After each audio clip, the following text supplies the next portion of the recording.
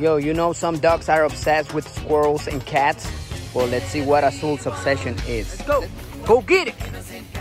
Go get it, Azul. She's my four-year-old blue heeler waiting every year for the Colorado summertime. Anything that has water, rivers, sprinklers, but especially this big Oh. sprinkler at the park. Can I give me? Get it, Azul. Whoa, whoa. Get it, whoa. Good girl, Azul. Azul, você tá doida. Mas o que você faz é muito legal. Oh, oh. El agua es el delirio de Azul, pero sobre todo los sprinklers del vecindario y no se diga el del parque. And then when she's done, Azul. Let's go. Now it's time to ride the bike. Let's go, Azul.